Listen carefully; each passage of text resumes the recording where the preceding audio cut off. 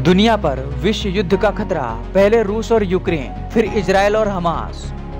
उसके बाद हुती और अमेरिका, और अब पाकिस्तान और ईरान। क्या हो गया है विश्व युद्ध का आगाज़?